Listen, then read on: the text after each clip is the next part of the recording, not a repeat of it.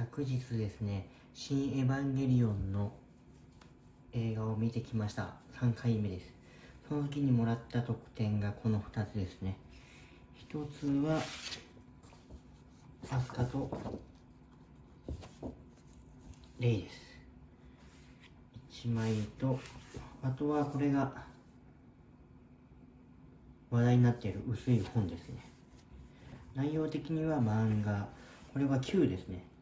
に行く時のマリとアスカの内容ですね。それプラス、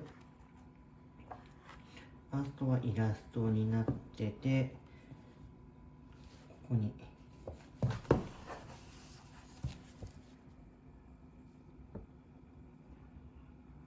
マリがいるんですね。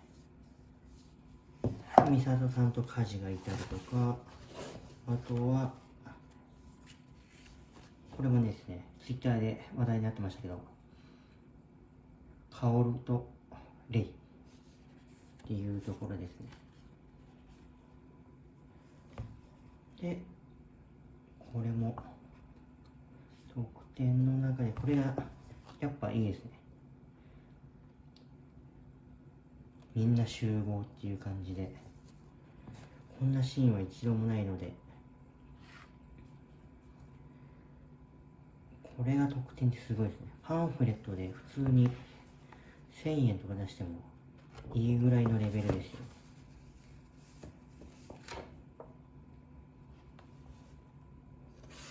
っていう感じでした。